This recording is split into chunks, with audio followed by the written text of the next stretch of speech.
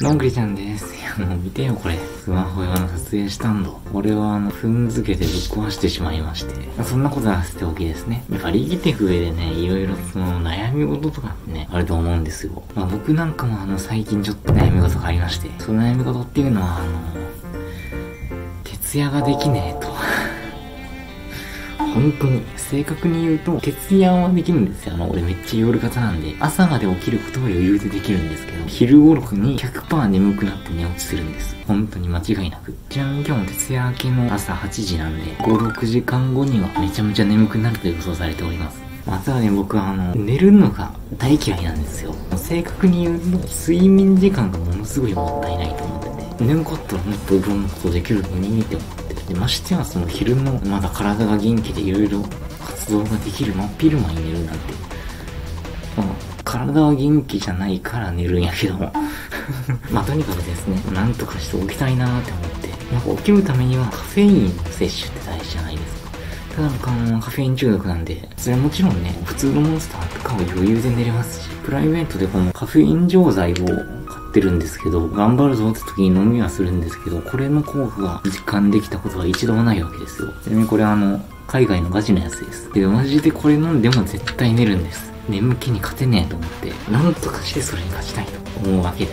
というわけで本日はあの、シンプルにカフェインを大量摂取していこうという感じで。うん、普通にやってもね、つまんないかなって思って、こちらの方買ってまいりました。モンスターの濃縮されたやつ。これはあの、普通のでっかい 350ml のモンスターをギューってしてやつと思っとったら、あの、カフェインの量が全然違うんですね。びっくりしたの。もうでかいやつってね、カフェイン 40mg なんですよ。これカフェイン 140mg 入っとんの。びっくり。ちなみに、このカフェイン錠剤は、これでカフェイン 200mg です。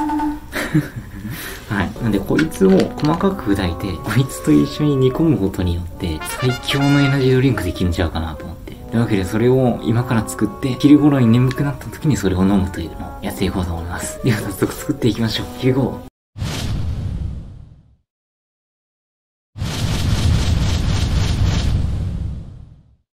はい、というわけで5日ぶりのキッチンですね。あの、このカフェイン錠剤なんですけど、あの、一応致死量、致死、致死量じゃねえ。致死量ではなくて、1日の摂取量の上限が、えー、3粒なんですよね。まというわけで、まあさすがにそれを超えたらやばいかなと思って、まあ今回使うのは4粒で。はい。こいつ4粒を砕いて、こいつと一緒に煮詰めて、凝縮して冷やすという風になっておりますね。というわけで、えっと、カフェインの量としては、えー、っと、940mg ですね。うん。あちなみに致死量は3から 5g って言われてるんで、全然致死にはならないです。もし死んだとしたら、この動画上がってないんで、上がってる時点で生きてます、僕は。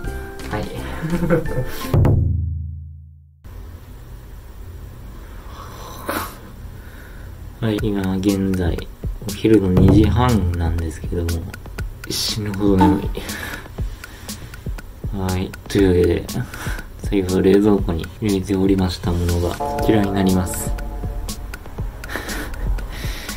沈殿がえぐい。まあ、き混ぜながら飲むといたしまして、まあ、ルールの確認なんですけど、あの、これ、戦いなんで、カフェイン中毒者 VS カフェインの戦いなんで、まあ、今から僕は、えーこれを飲んで、1時間布団に入って目をつむります。普通なら100%寝ます。で、えー1時間以内に寝ることができれば、僕の勝ち。寝れなかったら、こいつの勝ち。いや、そういう感じなんですけど、えっと、寝てるか寝てないかをどうやって判断するかっていうのを、何分かごとに定期的に音を鳴らすことができるアプリがあるので、それを、えー10分ごとに鳴らして、起きてたら、寝てる状態で、うってやります。それがなくなったら、寝てます。はい。というわけで、戦うぜ。眠い、もうこのまま寝たい。はい、今の混ぜてきました。多分すぐにまた沈殿するんで、さっさと飲みたいと思います。いただきます。